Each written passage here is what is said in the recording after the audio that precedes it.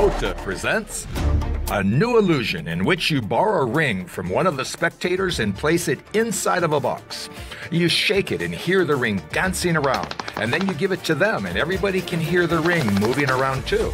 Then they take a look at the flip book, a small book that tells a story through pictures, and this is when the magic begins.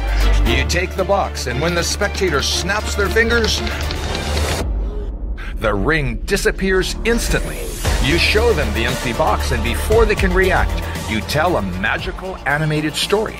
The story of an old man with the ability to draw, but with a peculiarity that these drawings could come to life and finish with an unexpected ending.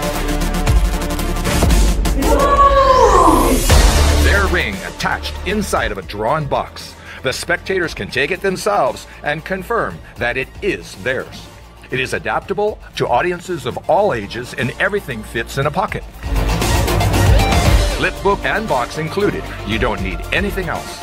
Use the box to make it disappear and the flip book to reappear. It has an instant reset and it's very easy to do. You can use any borrowed ring and perform surrounded. Now you can tell the magic with the flip book.